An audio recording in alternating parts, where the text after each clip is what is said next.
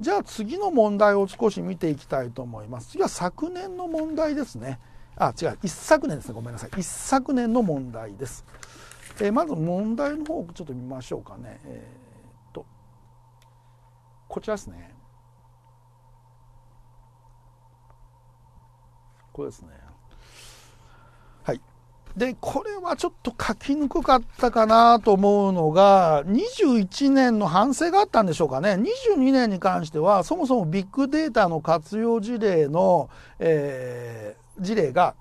教科書に、まあ、ほぼ丸々公式テキストに載っておりますし、情報銀行についての記載もございますんでね、まあ、ある程度、えー、いけるんですけど、このね、21年のこの健康経営っていうのはこの教科書にもどこにも出てないんですよね。でそれについてちょっと聞かれたんでちょっと21年は選ばなかった方が結構いらっしゃったようなことも聞いてます。まあもともと企業経営ってあんまり選ばない方が多いんですけどさらにというふうな感じでちょっと私のところでは聞いておりますね。そもそも聞いてない用語を聞かれてますのでね。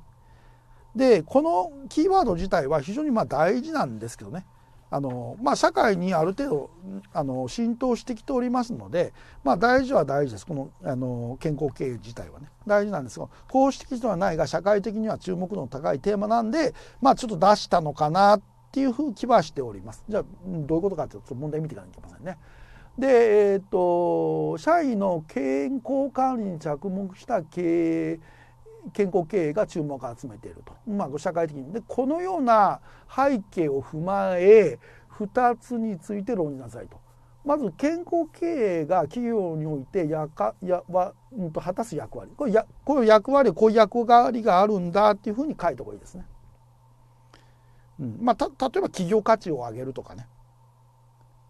うん、だって印象がいいじゃないですか。き、うんと、けあの健康経営やってると。まあ、健康経営が何なのか説明しないといけないと思うんですけど何となく健康経営まだ説明きちんと押さえてませんがなんかこれきちんとやってた企業価値が上がりそうだとかね。あとはあれですよね。健康経営をしっかりやってると従業員が辞めないとかね。といい人材が他に移らないからいい人材が確保できるとかね。そういうのがなんかありそうかなって。結論が書けないともう選べませんからね。でキーワードを使ってくれって書いてますねこのキーワードね。以下の3つのキーワードを用いてたからこれ用いたから使ってくれって言ってんでしょうかね。だから経営資源の中でまあ、えー、ありますよね。金物情報人の中で、まあ、一番人が大事だからいかに人を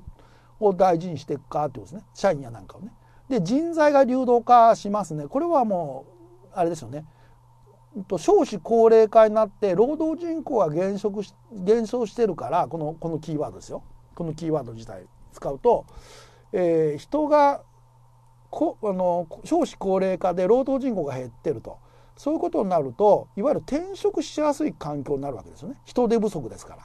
で人手不足だから嫌な会社にずっと勤める必要ないんでいわゆる転職しやすい環境になったんでまあ働きがいがある会社とかもいいんだけども当然あの健康経営をしっかりやってる会社の方がいいよねっていう話になってきて、まあ、たくさん人が集まってでそこで健康経営がしっかりやってれば当然やめませんよね。で一方健康経営自体は非常に、えー、企業イメージがいいですからより募集に来ますよね。で募集来て辞めませんので強いては会社の経営が安定するってことになるから競争優位性が保てるってことになりますよね。まあ、そんな感じでちょっとまあメモしながら書けそうかとか見ていくんですよね。でじゃあ健康経営を実現するためにどどうやっていくんだっていうことを次に書いていただくって形になるかと思います。はい、じゃあこれちょっと置いといて実際のえー、っとものを見ときましょうか、えー、冊子の方ですね。でこれが、えー、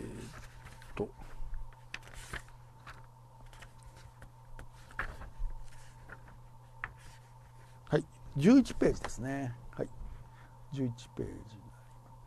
で、え今回ですね、河川引いてくれってなってませんので、まあ、これ河川引いても引かなくてもどっちでもいいと思います。問題の設定では用いてくれって言ってるだけですよね。えー3つのキーワードを用いてだから3つのキーワードにして必ず下線を引いてってわけではないんで、まあ、こう使ってるということだけですね。人材の流動化ですね、うん、から、えー、経営資源ですね、まあ、だから繊維必ずしも引けとは言ってませんね。経営の競争優位になるということですね。いうことになります。で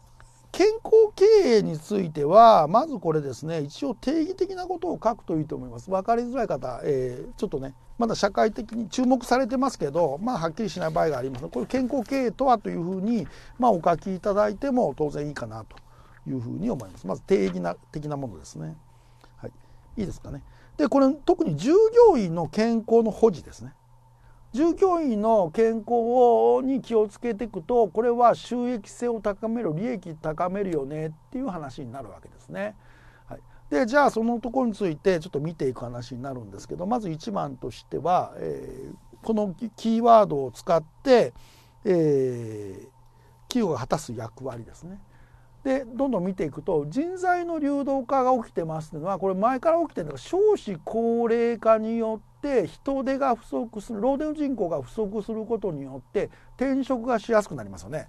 だ大丈夫ですね、まあ、転職しやすくなるとは書いてませんがそそうなりますよね。あの砂があの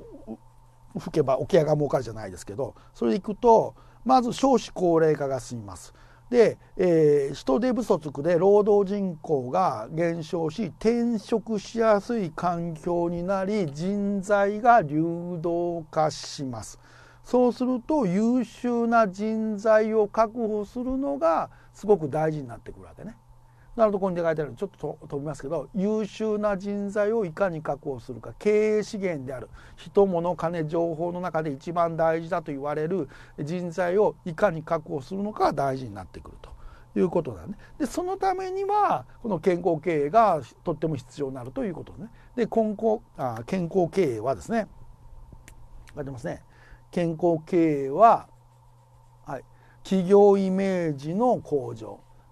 あと人材の確保ができる。いいですね。この人材確保ができるのは2つからできるわけですよ。まず何ですかっていうと,、えーと、そういう健康経営をしっかりやってる会社さんに対しては、はい、人が集まりやすいです。あと集まった人は、えー、辞めないわけですね。いわゆる職場環境がいいってことになりますから。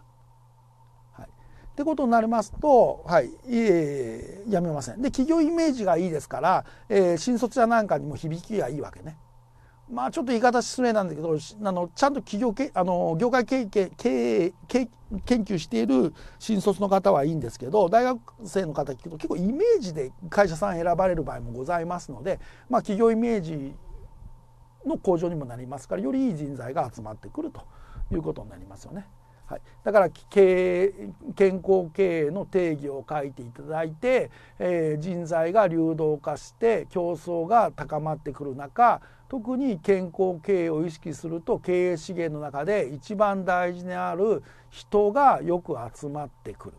いいですね。で健康経営やってると企業イメージも良くなるとさらに人が集まってくるというような形になりますからじゃあどうなるかというと優秀な人材が集まってきますので、はい、生産性の向上がアップしますよね。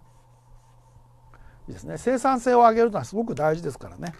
いいですかね。生産性を上げる。日本はどうも生産性が低いっていうふうに言われてるみたいですね。だからコロナ禍であのなんですかねあの自宅からのあの仕事ですね。あのオンラインで仕事したりとか在宅勤務とかになるとなんかダラダラやっちゃっててなんかあの私の知ってる企業の幹部聞くとやっぱり労働生産性が落ちてるみたいですね。やっぱり家でやるとねどうしてもですねあの集中できなかったりするんでしょうかね。うん、通勤時間がかかんないんでじゃあ定期代とかその辺で費用がああの圧縮できてるんじゃないの？とそれはできてるって言いますね。今までは定期だったのが日払いになっちゃってますのでそうすると圧縮はできてるんだけどその辺の部分はねだから生産性はやっぱ落ちてる場合が多いんでね。うんだから労働生産性をいかに高めるってことになりますとまあちょっと話ずれますけどあの在宅でどうなのっていうことはやっぱり言われてるんだね。いうことですね。だから労働生産性を上げるというのはやっぱり企業としては非常にあの重要ですね。その場合はやっぱり優秀な人材を確保する必要が優秀な人材を確保するためにはどうするかというとやはり健康経営ねこれが注目されてるということになりますよね。はい、ということになります。で、企業が取り組むべきことをですね、これはちゃんと書いておいた方がいいですね。この取り組むべきことは4つありますよということですね。で、この4つもですね、ネタ元がないんで、ちょっと難しかったかもしれません。で、ネタ元はどこかというと、13ページですね。はい、この、えー、2つ目の丸見てください。13ページの2つの目の丸ね。はい、ちょっと見えますかね。きんと健康経営全体像と施策例というところで、まあ、ここに出ているところで、えー、この5つね出てるね、はい、この中からま4つ選んで、まあ、一応こちらの方に書いてあるということになります。ですからまあちょっとこちらの方の問題に関してはやはりですね公式テキストに書かれてないものを聞かれるとやっぱちょっときついのかなと。やはり二次試験といえども基本的にはやはりですね試験自体が10月の22日で終わるわけですよあの一次試験がね。でまあある程度自己採点とかしていけそうだなと思ったら二次試験の勉強に入るんですけど当然ですねわずか2ヶ月ぐらいしかないわけですよ10月の14日に一番早く受けた方でも1112とね。ってことになるとやっぱりねまだ覚えている公式テキストで勉強した基本的な知識これがないと一時受かりませんからそれをやっぱりベースに試験もやりたいと思いますのでやっぱり一つの問題を選ぶ時の基準として最後まで論文の結論が書けそうなのかというのは私何回も言ってるんですけどもそれとプラスとしてですねやっぱりね教科書に出ている内容ですよ。